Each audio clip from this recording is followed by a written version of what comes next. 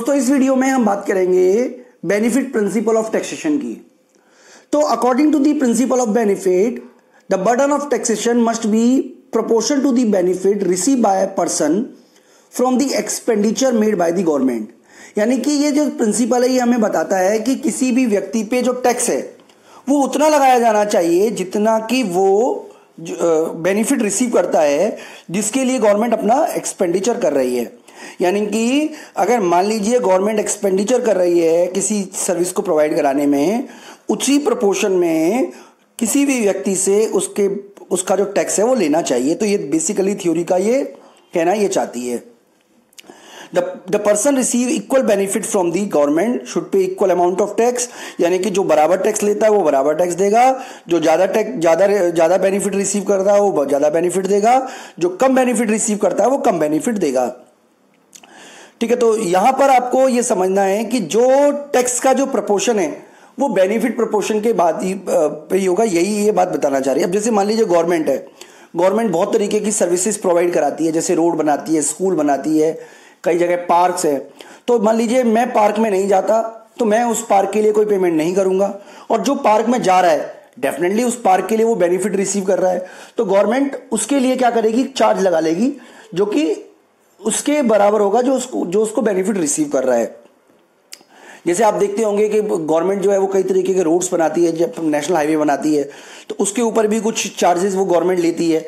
तो जो उस हाईवे का यूज़ करेगा बेनिफिट लेगा, उसी से ही वो चार्ज लेगी, ठीक है? और अगर कोई उस बेनिफिट का चार्ज नहीं लेगा तो उससे वो चार्ज नहीं करेगी।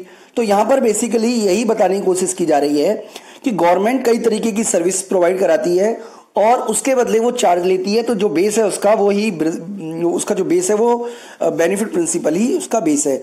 यानी ठीक है? इसके अलावा आपको ये बात समझनी होगी कि ये जो है ये इकोनॉमिक एफिशिएंसी को ला सकता है क्योंकि गवर्नमेंट को पता है कि किससे कितना चार्ज करना है और कितने पैसे कौन कि, किससे लेना है और कि, कितना लेना है ठीक है?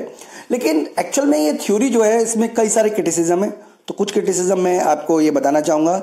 तो सबसे पहले ये थ्योरी बताती है कि जो टैक्स है, वो लेना चाहिए किसके बराबर? जितना वो बेनिफिट ले रहा है। लेकिन ये प्रैक्टिकल नहीं है। किसी भी बेनिफिट को आप किस तरीके से मेजर करोगे, ये पता करना बड़ा ही मुश्किल काम है। दूसरा है, ये है कि जो, ये जो थ्योरी है simply exchange price exchange theory है। यानी कि आपने सर्विसेज़ दी, उसके बदले आप पैसा दोगे। लेकिन इस तरीके से गवर्नमेंट और पब्लिक का रिलेशन नहीं होता। इसके अलावा आप जानते हैं कि वर्तमान समय में गवर्नमेंट जो है, वो पब्लिक वेलफेयर के बहुत सारे काम करती है। और कई तरीके की फैसिलिटीज़ गवर्नमेंट प्रोवाइड कराती है। तो क्योंकि गवर्नमेंट कोई प्राइवेट लिमिटेड कंपनी की तरह काम नहीं करती है कि जितना बेनिफिट लिया, उतना उतना ही उससे पेमेंट रिसीव कर लिया। बल्कि गवर्नमेंट का जो ऑब्जेक्टिव है, वो तो पब्लिक वेलफेयर को इंक्रीज करना होता है। तो ये जो थ्योरी है, ये पब्लिक वेलफेयर के अकॉर्डिंग सही नहीं है, क्योंकि पब्लिक वेलफेयर तो तभी हो पाएगा जब जितना वो पेमेंट करें, उसके कंपेयर में जो बेनिफिट है, वो डिपेंड करेगा कि उनकी परचेजिंग पावर कैसी है। तो ये जो थ्योरी है, ये पब्लिक वेलफेयर के हिसाब से सही नहीं है। इसके अलावा, देखिए, जो बेनिफिट होता है, वो लेते हैं कंबाइंड जैसे मान लीजिए रोड बना तो रोड बनाने में जो खर्चा हुआ, सारा का सारा खर्चा आप एक व्यक्ति से तो निकाल नहीं सकते हो। तो कंबाइंड बेनिफिट मिलता है लोगों को उस रोड से, ठीक है? तो ये पता करना बड़ा मुश्किल काम है कि कितना टैक्स किससे वसूला जाए, क्योंकि ये तरीका जो है, वो पॉसिबल ही नहीं है।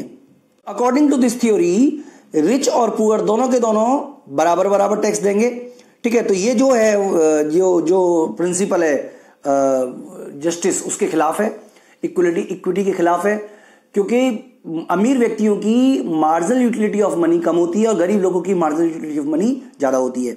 इसलिए दोनों से बराबर टैक्स लेना न्याय संगत नहीं है जस्टिस नहीं होगा।